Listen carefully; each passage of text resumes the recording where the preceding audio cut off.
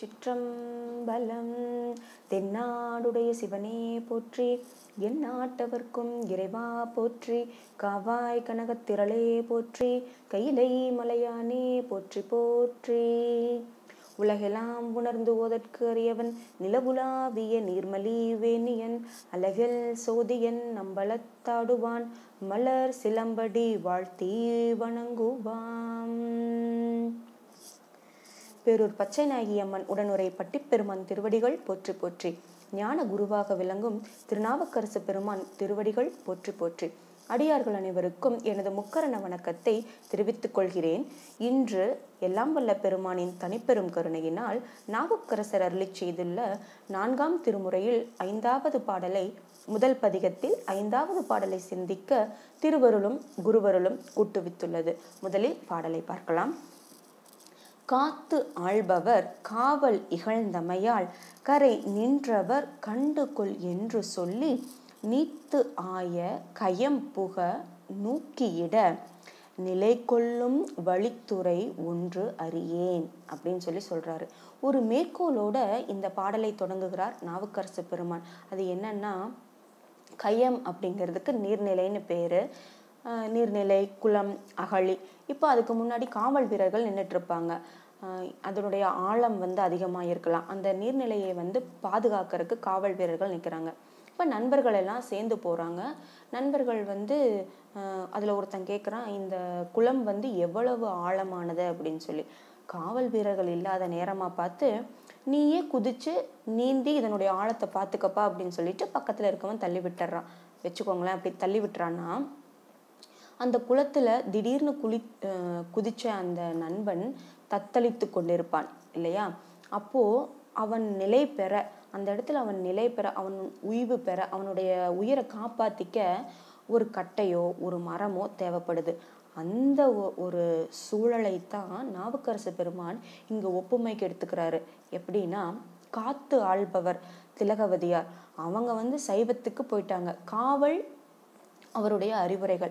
அவர் கூறிய அந்த வார்த்தைகள் அப் சைவத்தில் இருந்தாங்க அம்மா அப்போ நாவுக்கரசு பெருமான் என்ன பண்ணாரு? நிலையாமையை உணர்ந்த அவர் கொல்லாமை போதித்த சமன் சமயத்தில் போய் சேர்ந்தார். கரை நின்றவர் அப்படின்னு இங்கே சொல்றது சமண சமயத்தில் கரை நின்றவர்கள் சமணம் அப்படிங்கிற ஒரு கயத்தில் நாவுக்கரசு பெருமானை தள்ளிவிட்டு விட்டார்கள். இப்போ சூளை நோய் வந்ததுக்கப்புறம் சமணத்தில் உழன்று கொண்டிருந்த நாவுக்கரசு பெருமானுக்கு நிலை பெறும் வழி ஒன்று தெரியவில்லை. சரியா? அதை தான் இங்கே வந்து ரொம்ப கச்சிதமாக வந்து ஒப்புமைப்படுத்துறாரு. இப்போ அந்த குளத்துல தத்தளித்து கொண்டிருக்கிறான் இல்லையா ஒருத்தன்? அவனுக்கு அந்த வழியில போயிட்டு இருக்கவங்க எப்பா அந்த பக்கம் பாரு ஒரு கட்டை இருக்கு அதை பிடிச்சி மேலே வந்துரு. இல்லை இன்னும் கொஞ்சம் நீந்தி வா முன்னாடி ஒரு மரம் இருக்கு. இல்லை என் கையை பிடி அப்படின்னு சொல்லிட்டு ஒருத்தவங்க சொல்றாங்கன்னா அது எவ்வளவு ஒரு ஆறுதல் வார்த்தையாக ஒரு ஆனந்தமா இருக்கும். அந்த இடத்துல நம்ம நிலை பெற்றுவோம். நம்ம உயிரை காப்பாற்றிக்கலாம் அப்படின்னு சொல்லி ஒரு ஆறுதலாக இருக்கும் இல்லையா? அது போலதான் இங்கே நாவுக்கரசு பெருமானுக்கும் நிலை பெறுமாறு ஒரு ஆறுதல் வார்த்தை சொல்றதுக்கு வார்த்தை இது ஒப்பது கேட்டு அறியேன் வயிற்றோடு துடக்கி முடக்கியிட ஆர்த்தார் புனலார் அதிகை கெடில வீரட்டானத்து உரை அம்மானே அப்படின்னு சொல்லி சொல்றாரு அடுத்த இரண்டு வரியில. உன் வினைகளையெல்லாம் போக்குபவர் சிவபெருமான். நீ இந்த மாதிரி உழன்று கொண்டிருக்கிறாயா? ஆஹ் உனக்கு வந்து உன்னுடைய வாழ்க்கை வந்து நிலையில்லாம இருக்குன்னு தெரியுது. நீ வந்து பற்றிக்கொள்வதற்கு ஒரு பற்றுக்கோள் வேணுமா? அது உன்னுடைய சூளை நோய் போகணுமா? உன்னுடைய சூளை நோய் போக நீ பற்ற வேண்டிய பற்றுக்கோள் சிவபெருமான் தான் அப்படின்னு ஒரு ஆறுதல் வார்த்தை வந்து யாராவது சொல்ல மாட்டாங்களா அப்படின்னு சொல்லி இந்த இடத்துல நாவுக்கரசு பெருமான் வந்து கேட்கிறார். நீர்நிலைகள் சூழ்ந்துள்ள திருவதிகையில் எழுந்தருளி இருக்கும் பெருமானே இந்த மாதிரி ஆறுதல் வார்த்தைகள் யாராவது சொல்ல மாட்டாங்களா அப்படின்னு கேட்குறாரு.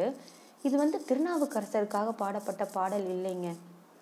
நமக்காக பாடின பாடல். ஏன்னா சைவத்தில் கரை கண்டவர்கள் அருளாளர்கள் எல்லாருமே நமக்காக நிறைய நூல்களை அருள் நூல்களை வந்து அருளி செய்தல் அருளி செய்துள்ளார்கள். ஆனால் நம்ம என்ன பண்ணுவோம்? அதெல்லாம் அதெல்லாம் படித்து ஓதாமல் உலகியலிலே உழன்று கொண்டிருக்கிறோம். இங்கே உலகியலை வந்து கயத்துக்கு அந்த குலத்துக்கு வந்து ஒப்பிடலாம். நூக்கியிட அதுலேயே நம்ம நீந்திக்கிட்டு இருக்கோம். கடல்ல நீந்துற மாதிரி அந்த உலகிலேயே நீந்தி கொண்டிருக்கிறோம். இல்லையா? அப்போது இந்த ஆன்மா வந்து நிலை பெறணும். உலகிலேயே உழன்று கொண்டு இருக்க முடியாது இல்லையா? அந்த ஆன்மா நிலை பெற வேண்டிய வழி என்ன? சிவபெருமான் தான். சிவபெருமானை பற்றி கொள்ள இந்த ஆன்மா வந்து உய்வு பெறும் என்பதை உணர்த்துவதற்காக தான் இந்த பாடலையே வந்து பாடியுள்ளார். மேலும் பின்னாளில் வந்து நாவுக்கரசு பெருமான் வந்து ஒரு இந்த ஆன்மா வந்து உய்வு பெறுவதற்கான வழியை அவருக்கு நடந்த அந்த நிகழ்வை கொண்டே பாடியுள்ளார். அது என்னன்னா கல்லினோடு என்னை பூட்டி அமன் கையர் உள்ளை நீர் புக நூக்க என் வாக்கினால். நெல்லு நீள்வயல் நீலக்குடி அரண் நல்ல நாமம் நவிற்றி உய்ந்தேன். இப்போ இந்த இடத்துல முதல் பதிகத்தில் நிலை பெறும் வழி ஒன்று அறியேன்னு சொன்னார் இல்லையா? பின்னாடி அவர் தான் நான் நமச்சிவாய மந்திரத்தை சொல்லி தான் நான் உய்வு பெற்றேன் அப்படின்னு சொல்லி சொல்கிறாரு நமக்கும் வழி காட்டுகிறார். அப்போது இந்த ஆன்மா உய்வு பெற வேணும்னா நமச்சிவாய மந்திரத்தை நம்ம வந்து சொல்லணும். அவனை வந்து நம்ம பற்றிக்கொள்ள வேண்டும் என்று கூறி இன்றைய சிந்தனையை நிறைவுக்கு கொண்டு வருகிறேன். திருச்சிற்றம்பலம் தென்னாடுடைய சிவனே போற்றி என் நாட்டவர்க்கும் இறைவா போற்றி காவாய் கனகத்திரளே போற்றி கைலை மலையானே போற்றி போற்றி. திருச்சிற்றம்பலம்